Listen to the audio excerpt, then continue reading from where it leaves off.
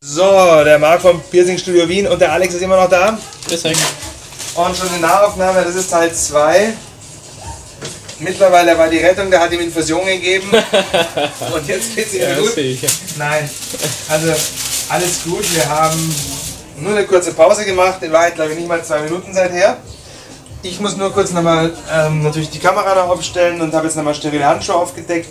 Das sind jetzt immer gerade nochmal die Hände frisch. Ähm, und dann machen wir die, die zweiten Vertical Industrials, die jetzt im Inner Conch sind.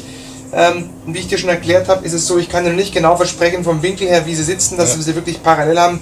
Ich gebe natürlich mein Bestes Ja. und schauen wir einfach an, dass es gut gestochen wird. Wir werden es von der Geschwindigkeit wieder gleich schnell stechen wie gerade eben. Ja. Also in Anführungszeichen eher langsamer, normal steche ich sehr schnell, aber sowas muss ich ein bisschen mit Gefühl und auch deiner, deinem Körper Zeit geben, mit zu sagen, was er will. Also von der Anatomie, wie das Piercing am besten ist. Sowas war das. Ah, mein Laser, den brauchen wir nicht mehr. Der Futsch oder was? Na, geht noch. Ja, wunderbar. Der muss sich desinfizieren. So. Gut ist.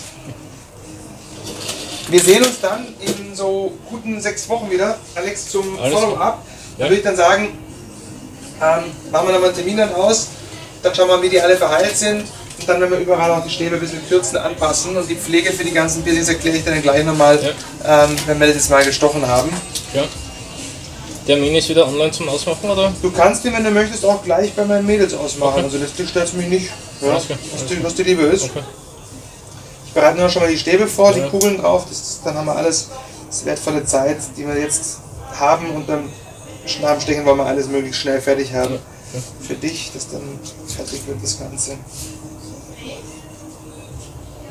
So.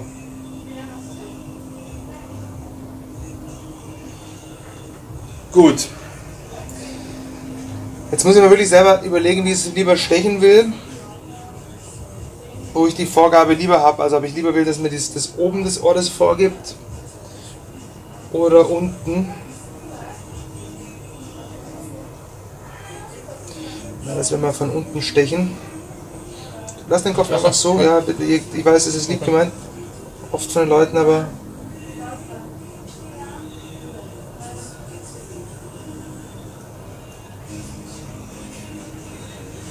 Geht's eh? Ja, super.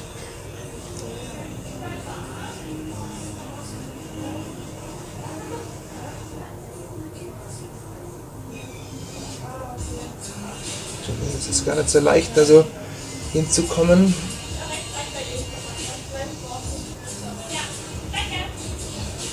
Geht's eh?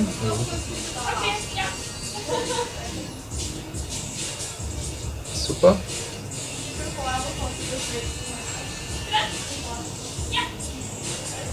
So. Wieder ein bisschen schauen, wie dein Ohr das ein bisschen haben will.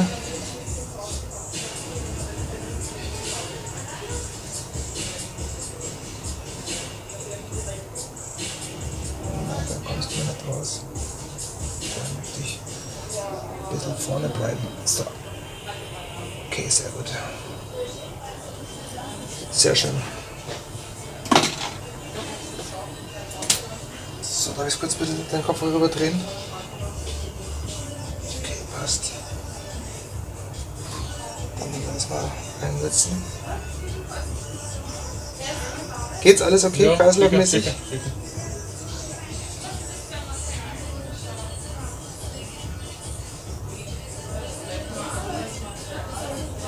Super, auch das habe ich lang genug geplant schon. Zwar allerdings leichter auszumessen. Das erste, was wir gemacht haben, war vom Ausmessen wesentlich schwerer, weil beim ersten, du kannst so hinter die Ohren, bei der Innenohrmuschel kann man das recht gut messen. Wir hinten die Rundungen, die man sieht. Bei dem anderen, was wir vorher auf der anderen Seite gemacht haben, ähm, tust du dir ganz schwer von oben nach unten zu messen. Du kommst mit der Schieblehre gar nicht so hin. Achso, okay. Heißt, das ist natürlich, weiß ich grob die Größen, aber deswegen habe ich dann nochmal die Pause gemacht und dann wirklich geschaut, was wir brauchen. Da war mir es eigentlich schon klar, dass es passt. Sehr schön soweit. Gut. Dann, wenn dein Kreislauf nicht Pause schreit, Ja, das sieht nicht so kein aus, Problem. gell?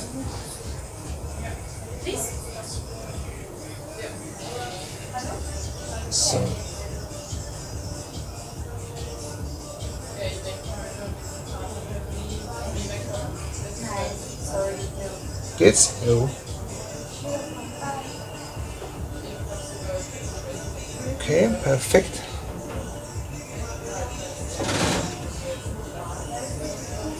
Geht's bei dir noch? Ja, ja. Das wird jetzt ein bisschen langsamer sein, weil ich jetzt wirklich hier schauen muss, dass wir den Winkel gleich kriegen. Perfekt.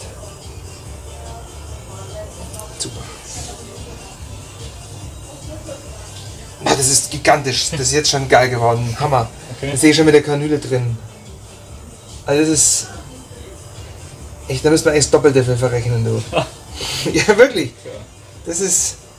Ja, so lieb, echt. Und so, so günstig auch, wenn ich ehrlich bin, für das, was wir hier leisten. Das kann ich mir gut vorstellen. Ja. Das sieht aus wie ein Gefängnis. Genauer äh, Abstand. Also wirklich, Okay. wirklich wie zwei Zellen. Also super, perfekt.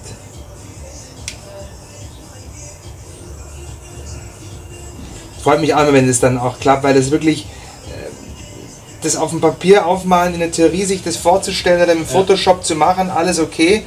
Aber das ist quasi dann auch am Ohr umsetzt, wo der Kunde sich bewegt, das Ohr vielleicht ein bisschen dann doch sich sperrt, weil man halt vom Winkel vielleicht, gerade beim, beim oberen, wo ich rausgestanden habe, habe ich gesagt, na so nicht, weil da, hat's mir nicht, da wäre der obere Stich mir fast zu weit zum Kopf gekommen, das habe ich dann noch ein bisschen korrigieren müssen. Das sind so Sachen, die kannst du halt vorher nicht planen. Und da kommt es dann auf Technik und Umsetzung und das war umso schöner, wenn es dann wirklich einfach so ist, wie du denkst, so soll es werden. Ja? Also ich finde es geil. Du siehst wahrscheinlich, wenn du in die Kamera hast, nicht viel. Ja, den, Hin- den Ja. hinteren sicher.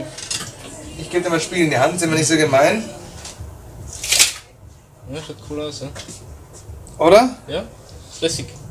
Also ich finde es sehr geil. So. Sehr cool. So, jetzt halt mal kurz, halt kurz mal die Kamera ein bisschen so nach unten her, gehen wir mal kurz nach hinten hin. Dann sieht man mal von hinten das Ganze. Auch wie, wie schön ähm, eng die jetzt liegen, keine Angst, meine Hände sind desinfiziert gewesen. Wie schön es eng liegt. Und auch hier unten unterm Läppchen, wie schön die quasi nebeneinander liegen. Und eben von hinten ohne Spannung drauf und von vorne eben diesen Look, dass man es wirklich, sag ja, ist wirklich wie Zellenabstand im Hefen, also richtig cool, ja. Dann gehen wir nochmal rüber kurz, von vorher haben wir hier die zwei gehabt, also hier die, das Vertical Industrial und das Vertical Tra äh, Tragus. Tragus und eben, wie gesagt, hier komplett eine andere Nummer, weil hier haben wir es wirklich einmal so, dass man es auch hinten wieder rauskommen sieht und oben beim Conch rein und bei den anderen beiden nur im Innen Innenbereich. Sehr cool. Also Alex, erstmal Hut ab, ja, äh, dass du so tapfer warst, ja, hat echt Spaß gemacht mit dir.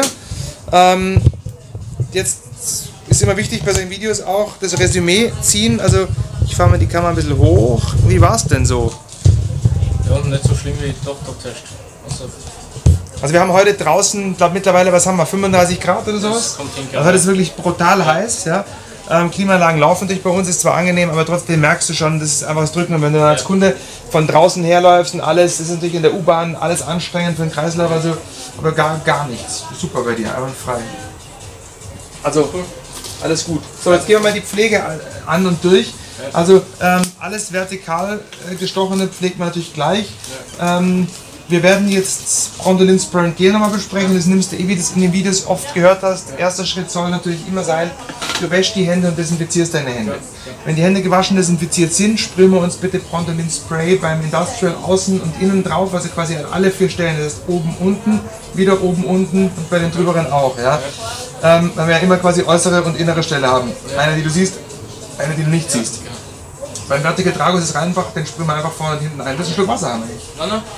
Ähm, wenn wir es eingesprüht haben, lassen wir es 30 Sekunden einwirken. Die 30 Sekunden brauchen wir, um antibakteriell und antimykrotisch zu wirken. Wenn es eingesprüht ist und eingewirkt ist, nehmen wir dann eine Küchenrolle. Die Küchenrolle sprühst du ein bisschen an und tu die ein bisschen zusammenfalten oder zusammen dudeln, dass du so eine bisschen eine Spitze hast, irgendeine bisschen spitze ähm, Stelle basteln, dass du halt einfach so mit einer spitzen, flachen Stelle ein bisschen putzen kannst. Gerade hier unten drin und auch auf der Rückseite. Hast du eine Freundin, irgendjemand zu Hause, der das nicht? Nicht? Schade. Mit Äh, dem Spray oder mit dem Gel? meldet euch beim Alex, das ist jemand, der. Äh, ja, ähm, also, Mit dem Spray oder mit dem Gel? Du sprühst die Küchenrolle Also, mit dem Spray ein. Die dient einfach dazu, die hat einen guten Grip, da kann man schönes Piercing putzen vorne und hinten, deswegen nehmen wir das zum Reinigen. Wattestäbe fuseln immer ein bisschen. Und zum Schluss nehmen wir dann das Brondelin Gel, Tropfen auf den Finger, einschmieren vorne, hinten und die Stäbe sanft bewegen. Also im Endeffekt ist es sprühen, einwirken lassen, mit der Küchenrolle reinigen und dann das Gel drauf tun und sanft bewegen. Der ist ähm, von der Länge, ich habe die jetzt alle, sage ich mal, ein bisschen länger gelassen, nicht viel zu lang, weil viel zu lang ist immer Katastrophe, da bleiben die Leute hängen.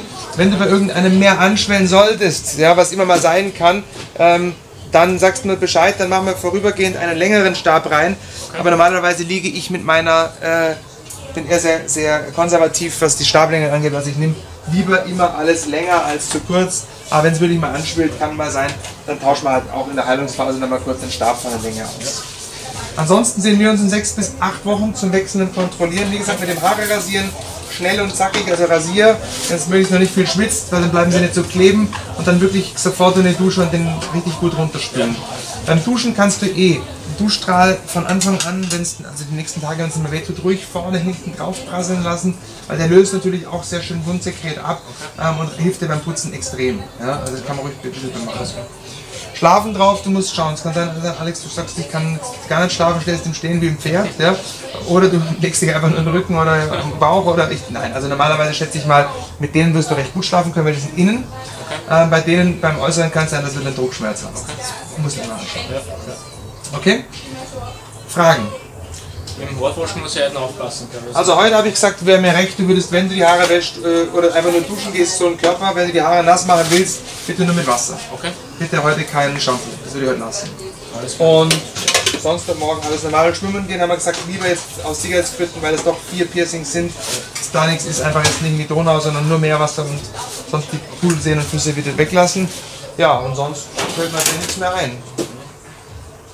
Spray und Geld kriege ich bei euch. Nichts bei uns, genau, so ist es. Gut. Dann danke ich dir fürs Kommen. War es jetzt alles nach allem okay? Ja, ich finde es super. Würdest du nochmal machen? Auf jeden Fall. Gut. Dann danke dir mal fürs, sehr gut. Dann danke ich dir mal fürs Kommen. Danke, dass ihr das filmen danke. lassen. Ich sag danke. Danke. Euch danke fürs Zuschauen und wir zwei sagen Ciao. Baba, macht es gut. Tschüss. Ciao.